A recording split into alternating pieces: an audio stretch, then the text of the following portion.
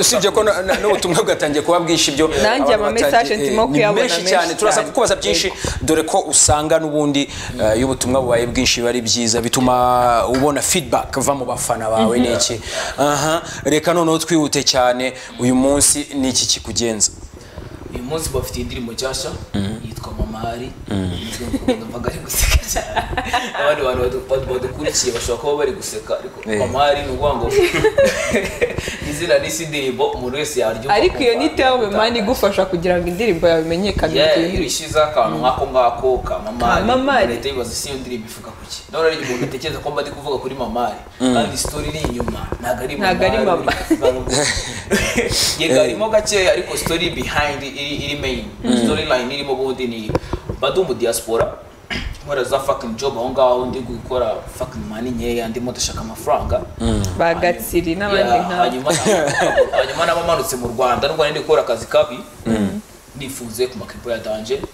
Ewana abahungu banjye nkabatumira n'abakobwa ewana nkabagurira ibyo kunywa ukarya igiceri. ewana amafaranga bakarya bakamera neza. Tumwe na James Pede nkavuga ni saa sita ntabwo ndi burye idolari ijana ukarishyira hariya Namari- namanuka hano mu rwanda bakavuga ati umuhungu yari muri amerika yaragafashe ni umukire. ni umudiyasipora ibyo bintu bijya bidushuka cyane tu. Kandi nyamara mba ndimo ndabura abashumi banjye mbabwira ni inshuti zanjye kuva kera mu buto ukuri kwanjye ntabwo nkora mu biro.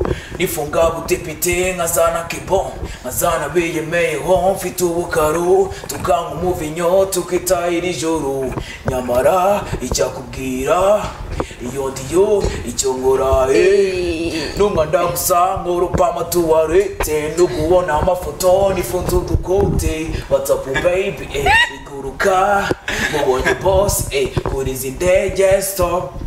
Ireka kwishuka yijyomba kumbuye mfata fone ngahamagara. Mba mfite ibitwenge gusa burya mbandira yamubwiye ngo urabihu ndapfukama nkasenga nkiyambaza mariya mamari we mamari we. Tugurize nyogokuru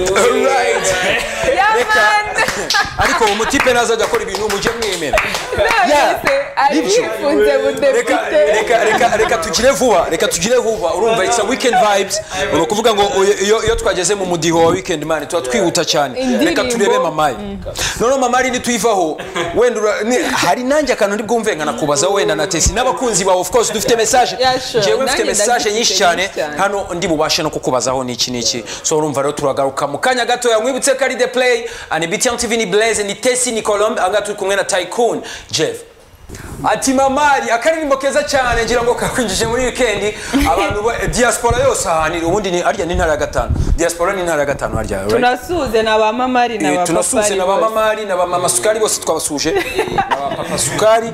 Iri kuva ariko oya ariko ntabwo rega biriya bintu baba babeshya abantu umuntu ugukubita ikofi se wamwita mama sukari gutaha bwo kumwita dadi nyine abagusiga agasuka cyangwa mami. Abagusiga agasukari agukubita ibyishimo. Aragubise wowe. Anyway um, reka duhite tugaruka ino ndirimbo ni true stories haramucama baririmba gufite iki kibazo. Kubera ko hari abadiaspora benshi nyine badukabyaho baje ariko rero ugasanga nubwo birenze. Hari abajama banjye benshi baba hariya. Barakwishe wowe. Oya n'abajama banjye baranabizi banatera n'amakomenti arakavuga ati mani iyi story ijyanye na life yanjye bamana Eh, wow. Yeah, ni ukuvuga ngo ni story ni true story abantu benshi babaye hariya.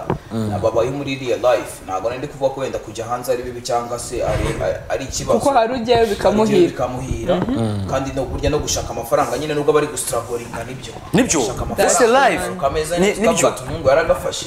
Ariko nyine njye mba ndimo mbabwira njye ni story mba ndi kuririmba noneho njye ndimo ndaragura abahungu banjye. Mbabwira ni inshuti zanjye. Kuva kera mu buto. Ntabwo nkora mu biro. Eh, ni- ni ukumanuka nifunze Numbona buto, nigize ati, nka ntuzabone depite. manutse meze Nigize neza bya daddy danje. ukajyaho n'ibintu bya danje. ugire ngo ka- hariya life binyoroheye mba ndi mu kazi nkora pa matuwarete nubwo ubona amafoto nifunze udukote yananiwe ariko rero ni na byo usanga abantu benshi badukabyaho ukajya karafashwe kandi katarafashwe ugasanga cyarenze umufana kandi wenda umwana yirirwa na- anatema ibiti dumba ni we uvuga ukuri. Yaravuze ati njye nkora ibintu bya agriculture nta bintu birenze ntimutegereze ko ari ofisi nkoramo runaka. Ntayo. Ntabwo. nimubone zino swag nimubone iki? Ariko tayikuni ari i kigali akwambaranye ngo niba ari ingofi ya Ya utinya imana nawe uzajya ya wambara izi nkweto hariya twibutse indirimbo yakozwe nande iriya video yakozwe nande? Ino video ah ndashimira big team. Abantu bakoze akazi gakomeye. Itimu ndende irimo ba izikati irimo ba bruno master ba el davis ba pacifique. Ni abajama benshi ni timu ndende. Eh, nanuza na na uriya mujama possible? Possible abantu ndamushimira na na, na starboy yaramfashije ku kintu kijyanye no kwambara? N'icyambu. Eh, n'uyu munsi niba eh man nyarukira kwa starboy akwambike neza. Muramamaje muramamaje. Aramamaje Muramamaje, muratwishyura. Aratwishyura ntabwo aducika Eh, ayo rero uwo mutipe starboy ashobora kuba ari ashobora kuba yambika abantu benshi ariko abantu benshi mba numva ya birashoboka kabisa. Reka tumwihorere. Eh, imana nyine imushyigikire nawe atere imbere. Anyway eh, tycoon imigambi mishyashya muri no minsi imeze gute? Imigambi mishasha no uguhereza umuziki mwiza abanyarwanda muri rusange. Ah, no kugerageza ku gutera itafari cyangwa se gutera intambwe iruta iyo abandi wenda bagiye batera batubanjirije tukagerageza kugendera muri discipline. Discipline ni cyo kintu cya mbere nkinjira no muri studio ngo ibintu by'ibintu bya Bya drugs. ntabwo abasani bose bakoresha drugs. Ni ikintu abantu bajya bibeshya. Drugs Ni abantu ikintu bose cyiza. muri Ya, rusange. ni abantu bose muri rusange. urubyiruko ruba rwugarijwe n'ama drugs. N'abantu baba ba- bakora music baba ari abantu bari update kuri bijyanye n'iterambere n'iki bahora muri life imeze gutyo ibintu byo kuryoshya. Noneho iyo ari igihe yumva ko drugs ari cyo kintu cya mbere cyiza kuri we. Ati sinajya stage ntagafashe ngo ngende cyangwa abantu. ukuntu twakuze wumva ko abantu musa n'ufata drugs ariko twabonye aho byabagejeje exactly man. Eh, ariko twe tuba dufite ibintu bifatika mugomba kwigiraho mwese. ugomba guhereza umuziki nyarwanda abantu udakoresha drugs kuko n'ubundi urabikora neza. Umuntu ntabwo azakundira ko ufata drugs azakundira ibintu uri kumuhereza. Kandi iyo ufashe drugs bya bintu wamuherezaga byiza ahita abifata nabi. Na nyuma y'umuziki erega hari wowe reputation yawe. Hari eh, yes nyuma y'umuziki hari life. Hari real life. Hari aho wakomanga ntibagufungure kubera nyuma nyuma yo gusitara. nyuma yo gusitara usanga abahanzi n'ubundi aragaruka akaba umuntu usanzwe. Usanzwe muri exactly sosiyete. kuko uh, nkawe ubu wasanga wiga ibindi bintu bitari umuziki. Ya nanjye niga muri university of rwanda hariya muri history rero mba ndi tycoon muri music ariko hanze nkaba ndi bruce nk'amazina ababyeyi banjye. Eh, uri Bruce. Eh buri man wazaririmbye Bruce. R&B bro. Eh, bana. eh ukazajya uwogoza ko ba Bruce ba ba Bruce Melody na ba Bruce Tycoon byagera Bruce Degree. muri muri iyi Na minsi- G muri iyi Bruce minsi n'abandi ndimo nka- ndabyiga ndimo ndiga gukubita trap ziri melodically byatari Eh. apana gukubita yego rap ni nziza gukubita trap ziri hadiko Yeah, nyumva bitwa ni byo. ko umeze nk'uri ku- ku- kurapa uri u- ufite akamelodi karyoshye ariko na na na hip hop ifite ingufu ukuntu ukuntu mbona ko melody abantu abantu bose zirabakurura usibye na hano mu rwanda ahantu hose iyo urebye n'amatrap ari gukorwa hanze izi melodika nizo ziri kugafata cyane? Ariko burya kuba wowe ni byiza kurushaho. Ntabwo wagendera ku bandi ushobora gusanga wowe ukubise.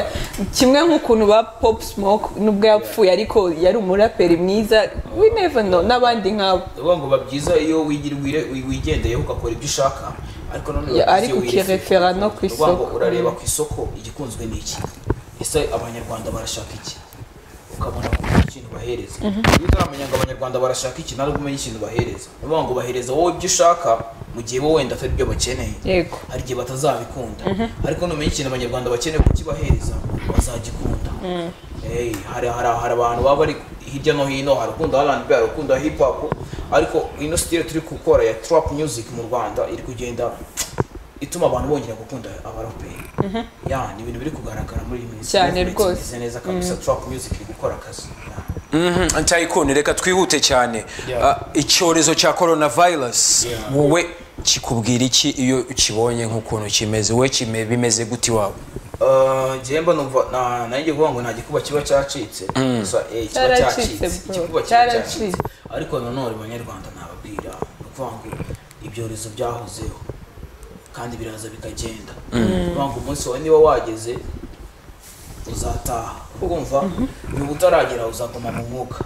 Ahubwo wowe haranira gukora ibyiza bizatuma nunagenda uzasiga inkuru nziza cyangwa se imusozi Ya, inkuru nziza usiga imisozi Ariko- ariko mwigire ubwoba ngo ngo korona ngo yaje. Ubundi ubwoba ni bwo buri butwice ubwoba ni bwo abantu benshi bafite. Njye mu minsi ishize nahoze ndi kureba nsanga ikibazo dufite ntabwo ari korona vayirasi Eh. ikibazo dufite ni ibihuha n'ubwoba ni ihe nama ugira abanyarwanda noneho kuri kuri public figure. ni uku- ni ukubagira inama yo gukurikiza inama za za, minisiteri y'ubuzima. N'inama za leta muri rusange. Niba ugerageza ukarabe ibiganza ni- niba ari ibyawe ni ibyawe nyine. Bibihereza undi muntu uramusuhuza gerageza umusuhuza wenda nibura nka gutya ndiko ibintu biri bukunde neza. Hanyuma Kabisa. ugerageze ukarabe intoki kenshi gashoboka. Wirinde ibi. Ni ukuvuga ngo nta none hari n'abantu uri kubona bari kwifuka ibintu ku muntu biriya bintu byambara umuntu urwaye cyangwa afite aho umuntu. Urwaye oya ariko reka nkubwire biriya bintu nabonye na babatesi abamatesi bose barabyambara kandi ni bazima nabura kucyambara ufite aho buriya n'umuntu urwaye no ariko uba wikingiye ariko ariko corona tugiye kuyivugaho. Ahantu inageze ko ikintu cyabafashije nabyo tuba abantu bamaze kwandura. Wenda tunabigarukeho ni abantu bagera mu bihumbi magana abiri mirongo irindwi na bibiri na magana inani na makumyabiri. Abamaze gupfa ni ibihumbi icumi. Na kimwe magana atatu. Nkeka ko rero. abakize ni mirongo icyenda. ariko mutagira ngo ibi bintu bipfa gukira. Ushobora gusanga aba bantu bakize ari abashinwa. Ari abashinwa gusa. Reka tureke coronavirus. Reka twihute n'umuziki wacu. Duhite twihuta cyane. Kugira ngo tuve kuri coronavirus tudatera abantu ubwoba kandi bari no mu rugo wenda bari, bari no kutureba. Bakeneye ku- kumva ikindi kintu gitandukanye bakeneye no kumva music n'iki. DJ arahari bakeneye umuntu bakubitanye n'ibyishimo n'iki Uh, Tycoon watubwiye plan ufitiye abanyarwanda ese uyu munsi aka kanya uramutse umenye ko uzapfa ejo? Ni iki kintu cya mbere wahita ukora vuba vuba? Ejo mu gitondo saa kumi n'ebyiri Kimwe. Tycoon yagiye. Kimwe cyonyine. Umusa ikintu kimwe cyonyine nakora. Ukwegerana n'imana nta kindi. Ese, ni ukubwira yesu uti se ndaje mu kingi oya ni ugutunga tunyakire nta kindi. Nyakire mu bwana bwawe rwose. Eh, ni ibyo. Mbese wakora iki kindi? Ni ukubanza gusabira aho ugiye. Eh, twihute cyane. Yo. ni iki kintu ushobora kubura mu buzima ugahungabana? Mu mufuka wawe uko tumeze ngewe ngiye kuva mu rugo aka kanya. Ni iki kintu udashobora kwibagirwa? Mvuye mu rugo. Eh, ntabwo ari ikintu. Apana fone fone ibi ngibi fone na wallet biba bimeze nko gutwara nk'ikisi itike iki Nta like wowe Wowe kuri nk'iwawe. wowe. Eh, ni iki kintu wabura? Eh, ikintu mbona ubona ntange urugero mbuze ntabyeyi nahungabana ubwo ni Eh, mu urugero buzima bisanzwe? Mbuze Wowe? mama mubyara ubuzima bwanjye bugahita buhagarara ntabwo nakubeshya. Mbuze mama mubyara amukunda byatari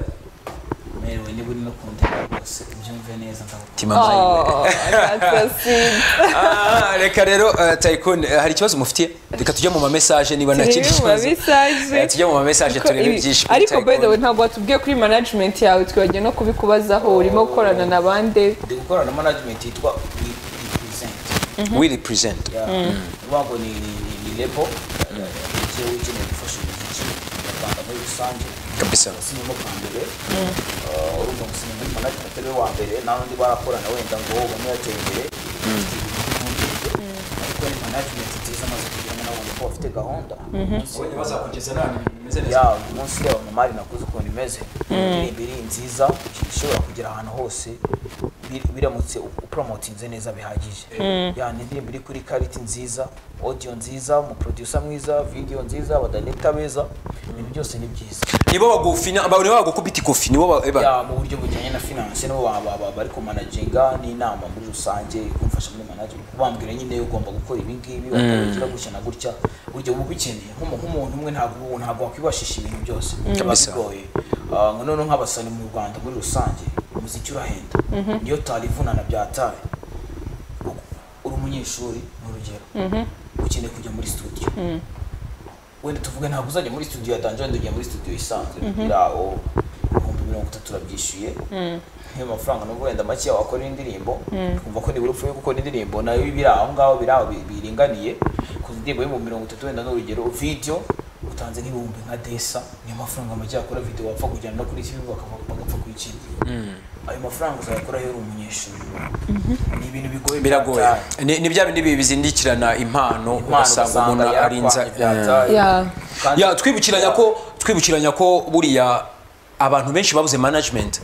Wenda twafata n'urugero. Batera intambwe bajye baza babwire aba ba Jeff bo aba Jeff n'aba managers beza. Kubera ko ureba nka Justin Bieber ureba ahantu yavuye arakana gatoya. So Asha Raymond ahashyiramo umutahe waravuga ati reka nshore imari.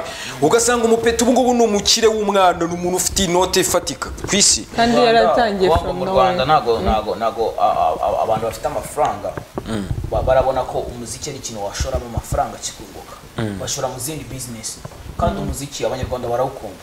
Twabonye neza ko umuziki nyarwanda ushoyemo neza wakunguka neza. Kabisa. ariko abashoramari abashoramari nibo bafite ikibazo ntabwo baraboneka cyane. Niyo mpamvu nk'abanzi tugomba gukomeza gukora cyane kuko iyo Yeah. gukora bari passion uremera ukitanga na wa mwenda wambara ukawihorera Eh, man, umuziki ukiyemeza ukanaburara rimwe na rimwe. umuziki witaguteje imbere ubundi ukugira kabisa. Ahubwo uvuze uvuze icyo kintu. Ndatekereza apart y'umuziki ni ikihe kintu kindi wakora? Cyangwa uteganya gukora. Umuziki byanze ukavuga uti umuziki "Yeba, byanze umunsi wa kabisa." none wenda bi- ntibikunde kubera impamvu zitandukanye. Ibintu by'ubucuruzi nyine wenda ko wafata ibintu hamwe bijyana ahandi ubicuruza twacuruje rero njye twagiye deal deal. Hari umuntu wanditse message aravuga ah, sinzi icyo abanyarwanda bapfana n'iki kibazo.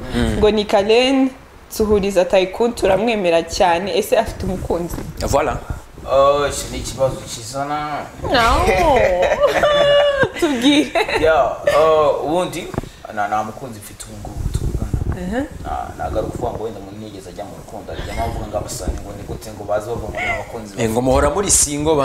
Ubu ntabwo umuntu ahora ari singo. Ndetse mu gitondo nshobora kubyuka namubonye kubera ko mvuze ikibazo cyanjye. Bacyumve barwaneho bakurwanya ariko Bazembe bakizeho barwaneho naza kuguha tesi. Ni ukuvuga ngo nta tesi nawe ntanga usanga utari ko mba mbona mba mbona hari ukuntu hari ibintu tugomba guhindura cyane ko usanga abakobwa nabo nk'ubutesi nk'ubu tesi bamubaza ati rega eh, ariko cyane cyane ku bakobwa nk'aba bastar nyine bazwi n'abantu benshi. Buriya aba yatashaka kwerekana tanasha badashaka kwerekana umukunzi we. Eh. ariko ntumwerekane That's very simple. ko mufite eh wamukira. Wamukira ko Aho Eh, bisenyuka hari- umutipe wigeze kuza hano? Turamubaza yitwa ben eh, turamubajije ngo ese eh, ufite girlfriend? Ngo yego turavuga se ubu aka kanya ari hehe? Sha yabuze ikintu asubiza tu buriya afite umwe nyakabanda undi kimihurura undi Ah, ati "Njye mfite girlfriend tu. Ibyo ntabwo bibareba ahari ntabwo nshaka kubyumva. Nta kindi kintu nkeneye cyo kumenya. Tycoon. Twavuze ku twavuze kuri project ufite upcoming projects Yeah. twinjiye ku ma message. Ndetse kuko umukunzi yakagusubije hari ikindi kibazo?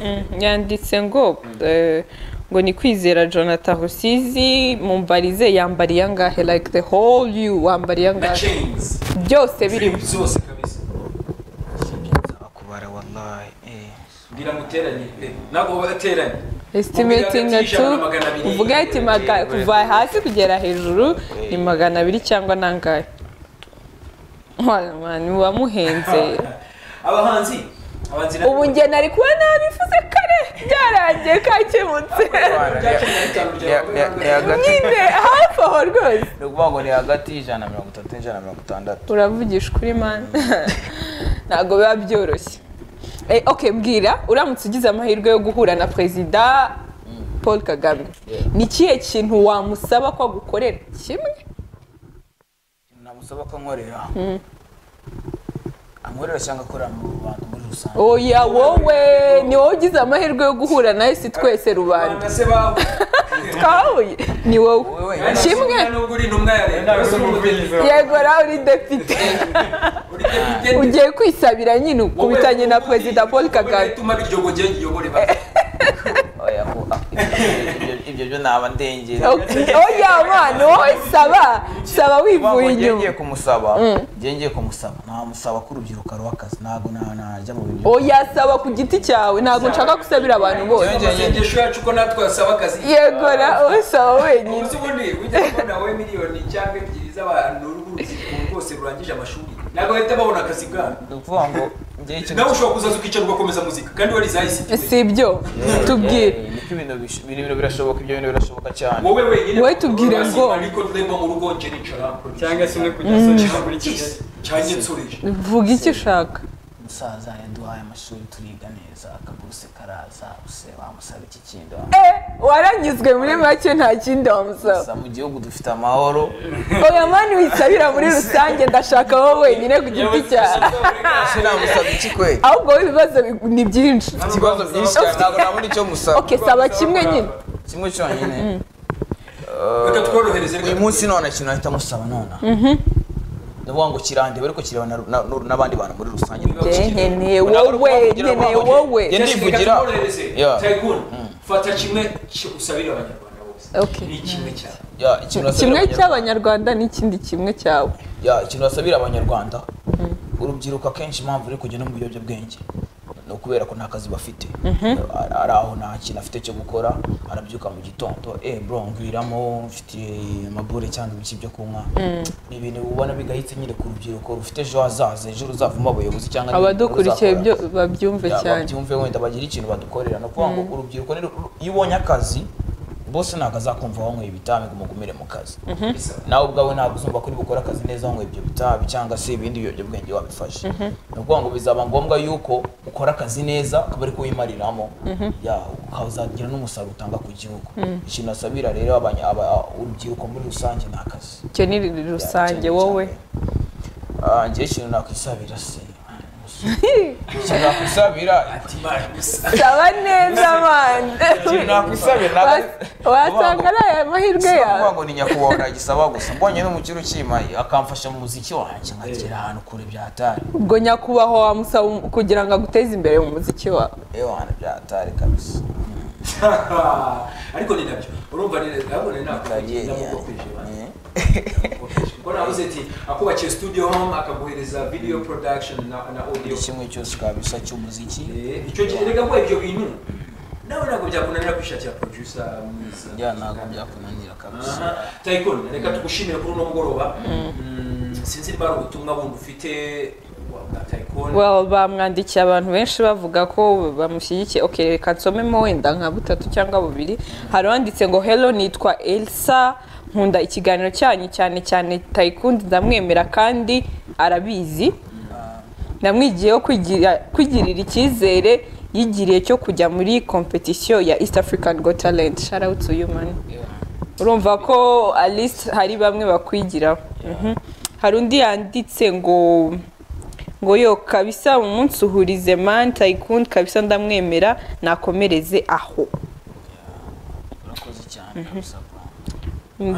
Undi yanditse ngo man ndabona ku makeji mutumereye nabi mwatwitse.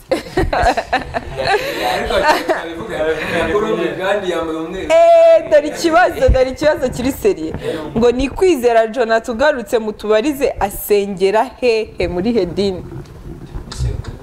Uh, cyangwa nagusenga ndasenga ndi umukristo ukomeye cyane nawe agera muri atatu yose. Ah. Ndi umukristo ukomeye katolike hafi aho mu muryango remezo yego ese nta korari waririmbyemo ukiri muto? Eh, eh. mm.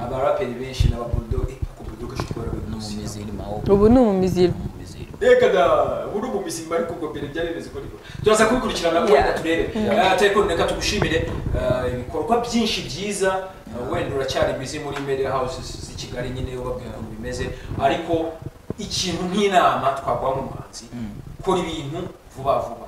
Nutegereza amezi arenze abiri tukakwibagirwa hari abantu benshi bari gukora indirimbo kandi nziza. benshi. Ngewe mfite umwana bita Ariel Ways mu kureba n'indirimbo ye. Tugiye gukubita abanyarwanda non stop za ndirimbo zigo- zigiye gukurikirana Colombe agiye gukora akazi kashinzwe. Noneho ariko Ariel niwe ngewe ndi gufana uwo mukobwa uri kuvuga afite indirimbo nziza byatari a boy from mars. ukore flows wicisha iwana yanwikiye. Twaraweje ubundi mu isango na muzika. Kabisa. wanacisha bugufi byatari cyane kabisa. Rompe turi mu mahanga abantu bose bareba ibintu bye mu rwanda hari abantu bafite ibintu byiza. Hari abantu bafite ibintu dushobora gucuranga kuri billboard abantu bakavuza induru tukajya muri 100 top 100 kandi ugasanga tumeze neza. Rompeti afite song nziza yitwa nango boy from mars. From mars aha Tycoon ikintu kintu nsabira abanyarwanda muri rusange unabifuriza umugoroba. Uh, ikintu nasaba abanyarwanda muri rusange ni ni- muri rusange ni ugukomeza gushyigikira umuziki nyarwanda. Kwana ngiye gusa ntabwo nikunze cyane. Abanyarwanda muri rusange hari abantu benshi bari gukora umuziki mwiza. Babafashe batere imbere na- nanjye ntivanyemo abantu by'umwihariko abantu bakunda umuziki wanjye bagiye ku ma platform atandukanye yaba ari kuri youtube ya ushaka kureba indirimbo ni Tycoon. Degree kureba indirimbo zanjye zisanzwe yaba ari Manem yaba Instagram ari Pascal na Instagram nitwa Tycoon Degree na Facebook, na Twitter hose nitwa Tycoon Degree. Uh, hanyuma mamari iri kuri youtube channel ya ya, ya will present music. Kubarizwamo yeah. uri utarabasha kureba ariya mashusho neza cyangwa ukeneye kugira ubundi munononsozi akora cyangwa akeneye gutanga comment like byose ndabikeneye bagasharinga bagasubscribinga bakomeza ku neza imbere. Ewana buri muntu wese wumva ashaka guteza umuziki nyarwanda imbere agerageze arebe iriya ndirimbo amfashe kuyipromotinga ni indirimbo nziza ifite story nziza video nziza audio nziza abaproducer bose bayikozeho ndabashimira. Elvis Pro Bobo Pro ndabashimira Big Team sinagenda ntabashimiye Star Boy sinagenda ntagushimiye we represent music muri makeya ndabashimira cyane muri gukomeza kumfasha. Nshimira n'itangazamakuru muri rusange. Itangazamakuru riri gukora ibintu byiza riri gutuma impano nshyashya zigenda zigaragara muri rubanda abantu bakabasha kutubona bakabona ko wenda natwe hari ikintu dushoboye hari itafari dushobora gushyira ku muziki nyarwanda. Uyu munsi ikintu ndimo ndabona ndabona ko umuziki nyarwanda mu myaka iri imbere nk'itatu uraba ugeze ahantu kure cyane. Atari ukuvuga ngo ni ba Meddy cyangwa ni ba The Ben bageze kure.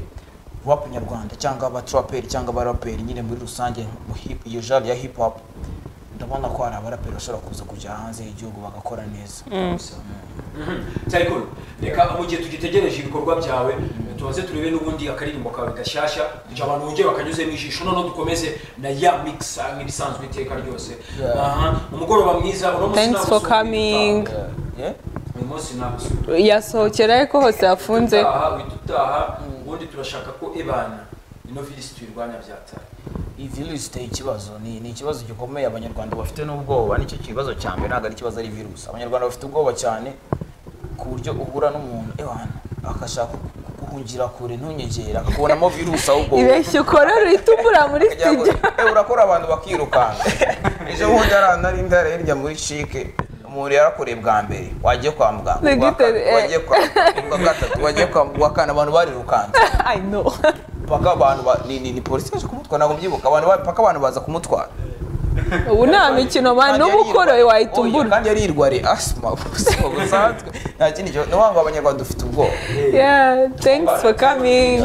Wakoze cyane kuza nawe mwakoze kunyakira mani bangisha kabisa. Kabisa reka mubwire kari blaze ni tesi ni colombe aha ngaha twari twakiriye umuhanzi umwe nawe uri kuzamuka neza muri trap music cyangwa se ya njyana nyine iryoshye cyane iryoheye amatwi. Bari kugarura hip hop mu buryo bushyashya nyine ukumva bimeze neza. Aha ngaha rero ariko mubwire ko tujya muri ya mix duhita tugaruka tunareba n'ubutumwa bwanyu muri rusange. Mubwire ko rero duhita tuza vuba vuba nyuma y'indirimbo zitageze muri eshanu. Je.